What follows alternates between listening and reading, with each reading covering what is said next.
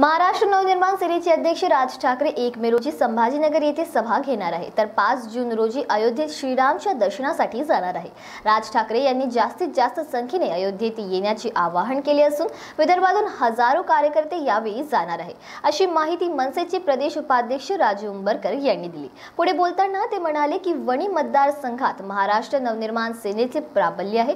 शिवाय जिल्हा परिषदेच्या राजकारणात सदस्य म्हणून निवडून पाठवण्याची कर्तबगारी केली आहे. जिल्ह्यात अनेक महत्त्वाच्या प्रश्नांवर आंदोलन करून प्रशासनाचे लक्ष देखील वेधले आहे. विधानसभा निवडणुकीत राजू उंबरकर यांनी मोठ्या प्रमाणात मते घेऊन प्रतिस्पर्धी उमेदवारांना घामही फोडला होता. अशी प्रतिक्रिया राजू उंबरकर यांनी दिली. सतरा एप्रिल रोजी पुन्हा येथे सन्मान्य राजसाहेबांनी जी पत्रकार परिषद घेतली त्या पत्रकार परिषदेमध्ये साहेबांनी दोन गोष्टी प्रामुख्याने या संपूर्ण देशासमोर ठेवल्या. एक म्हणजे साहेब एक मे रोजी संभाजीनगर इथे भव्य सभा घेणार आहेत.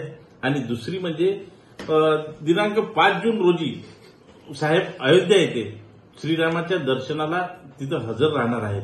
आणि त्यासोबतच साहेबांनी आवर्जून एक बाब सांगितली संपूर्ण देशाला संपूर्ण महाराष्ट्राला एक बाब सांगितली की आपण सर्वांनी यावं.